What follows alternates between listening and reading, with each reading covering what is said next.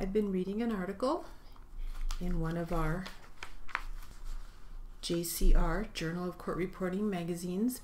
It's called The Mind, Body, and Soul Connection.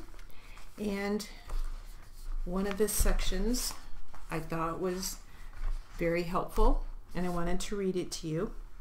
It's short, and it says, Your body, seek healthy foods and exercise. Here's what it says.